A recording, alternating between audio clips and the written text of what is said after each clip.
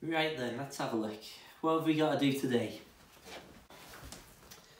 Uh, to-do list, to-do list. Hmm, interesting.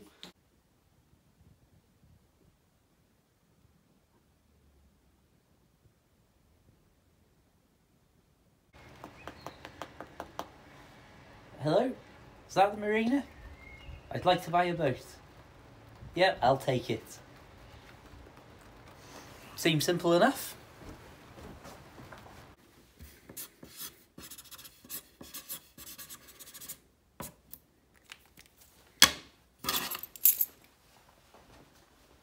Hello there folks, I'm Dan Brown from sortofinteresting.com and my goodness me, two years after I left Narrowboat Tilly, I cannot believe and I cannot tell you how happy I am to be about to say these words, but welcome to my new humble narrowboat home, Narrowboat Abel's Ark. I apologise that I'm losing my voice, this is just a very quick, very quick sneak peek almost, and well, I cannot tell you how good it is to be back on the canals, honestly. It's uh, I'm almost glad that my voice is a bit raspy because it's hiding the ludicrous emotion that would be pouring out in my tone of voice otherwise.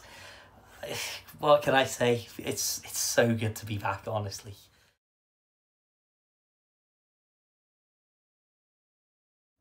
At some point, I will post a proper full guided tour in-depth look at this boat as one single video so we can have a proper look at how it was exactly at this moment that I purchased Abel's Ark and then compare it over the next few months as I have more work done to it, change the furniture, get the paintwork done, put a new oven in the kitchen, all these sort of odd jobs that need to be sorted on board. And we'll be able to compare what the boat looks like in, say, two or three months' time from now compared to how it is now that I've bought it. But I just wanted to give you a very quick update because I am absolutely over the moon, my friends. As I say, there's plenty of little odd jobs to do here and there and little bits of uh, just just general tidying up, I suppose. But I'll just flip the camera around. This I just wanted to show you. So we've got full double bed here and what have you. And then I absolutely love this little feature of having your doors open up from your bedroom and then up to a proper full, fully waterproof covered area at the front. And again, just your, your classic little tiny narrowboat double doors here. But this, I can imagine, well, in the sun that I've been on here for the last couple of days, um, over the last week basically just coming out doing some measurements and stuff before I move on officially which will be imminent. Could even be before you even see this video I could be officially living on here. But when it's sunny as the sun's just coming out now this is absolutely beautiful. But I can equally imagine that lying in bed and waking up and then opening these doors and having the uh, rain and the general sort of bad weather conditions all rattling around the front of the boat as well and then being like cozy tucked up here in bed.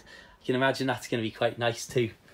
Um, so yeah as i say there's so much to so much to talk about so much that's happened over the last couple of weeks.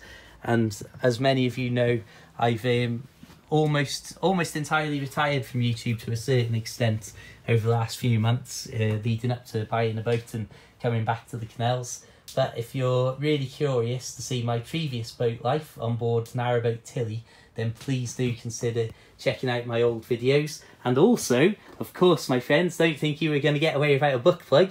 Feel free to read all about my life. Again, now this title, My Narrowboat Life from Beginning to End, of my paperback collection of some of my shorter Kindle books about life on Narrowboat Tilly, it definitely needs a question mark on the end of from beginning to end as well that was my first narrowboat life, I suppose, from beginning to end. So check that out. Links in the description, available as a paperback and for the Kindle. Sell out, sell out as quick as I can.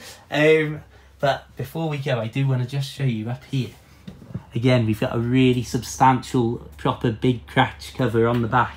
So again, this is so nice being completely covered over. We've got built-in seating and that, just in case of giving it a tidy up, paintwork and everything.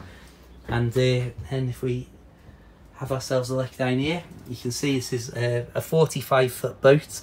So my old boat, narrowboat Tilly at 30 foot, the entirety of Tilly would fit on the inside part of this boat. So yeah, again, just so happy, cannot tell you how good it is to just be back on board and well, back on board any boat really. So yeah, lots of work to be done, and you will hopefully uh, see a lot more of me very soon. But yeah, all all systems are go, my friends. Uh, check the links in the description. Feel free to add me all over the internet, Facebook and Twitter, and all that sort of stuff. If we pan around, this is something again that I'm looking forward to. Getting the fire going. Obviously needs a needs a clean to say the least. But again, it's just going to be so nice having a proper fire with the little window and the sparks of orange flashing across. Oh, cannot wait, cannot wait. First time I've had a proper fire on a boat because the boat on Narrowboat Tilly, the boat, the fire on Narrowboat Tilly was a, a homemade one that the previous owners had put together. So it's nice having a real proper fire. Um, oh yeah, I'm already rambling. We're about five minutes into boat life, and I've already somehow managed to record ten minutes of footage. Um, but yeah, I hope you'll enjoy the things that I've got lined up and the further adventures of Dan Brown on the canals. Till the next time, have an absolutely fantastic day. Please do check the links in the description. Please do, now that I've just spent a lot of money on this boat, really, if ever there was a time to check out my books, please do check them out now. But ultimately, till the next time, my friends, have an absolutely fantastic day. And, well, I, I just cannot wait to see how this all unfolds. And I hope that you'll join me for the ride. Until the next time, of course, my friends, keep it interesting, keep it boat worthy, and farewell.